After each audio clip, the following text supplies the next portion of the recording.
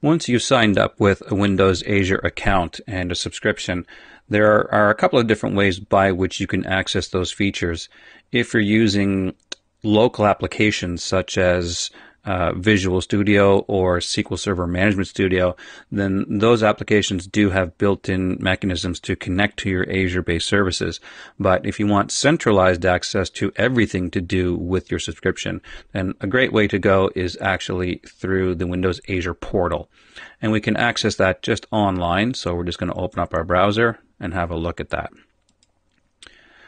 So we just need to go to windowsazure.com. There's our address right there.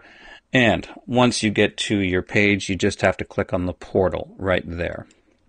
So you do have to have a, your account already set up. So again, we need to log in with our existing credentials.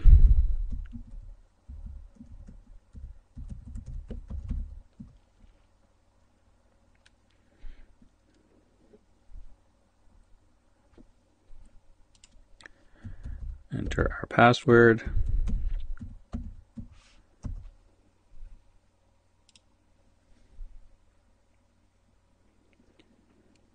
So what you'll find here is just again centralized access to all things to do with your subscription.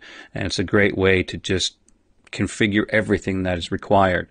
So what you'll see when you log in for the very first time, it actually will pop up with a quick tutorial only about 20 or 30 seconds just shows you the navigation options for the page. But what you see here is we've got all kinds of options for websites, virtual machines, mobile service, cloud services, databases, so on and so on. And you see that there's quite a few of them.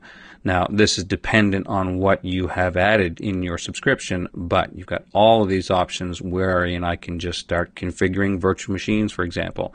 Now, nothing has been created, obviously, in ours, but we can just go in here and just click on these options to get started.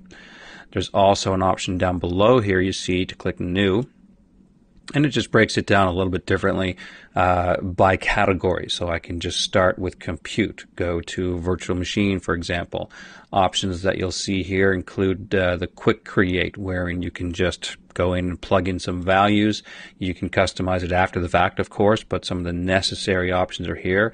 Simply click create virtual machine. That system is up in pretty much in, in no time. Data services, similarly, we've got options to create databases, storage solutions, uh, recovery services, whatever that might be. Uh, app services, again, you just go through the options here, choosing whatever it is that you need for your particular requirements.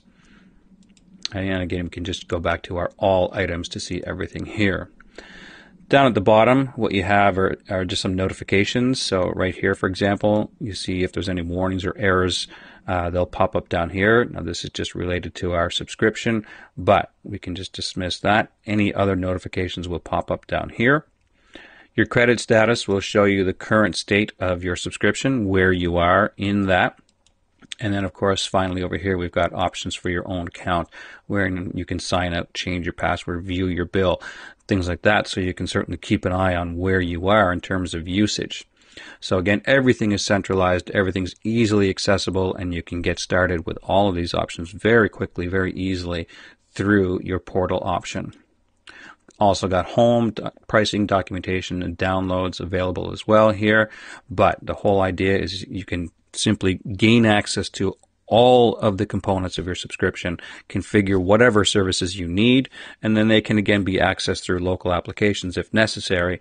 But the portal is a great place to get started.